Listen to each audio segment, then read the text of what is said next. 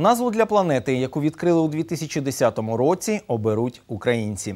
Таку можливість країна отримала завдяки участі у міжнародному конкурсі Name X Awards. Це вже другий подібний проект, оголошений міжнародним агросоюзом.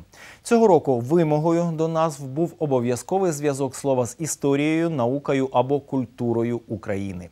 Зірка, яку називали українці, знаходиться в сузір'ї Персея на відстані у 40 світлових років від планети Земля.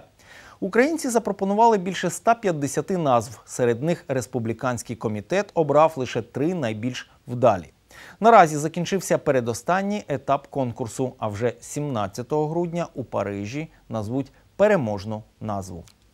В космосі вже є дуже багато імен, які носять імена українців. А повторюватися було не можна.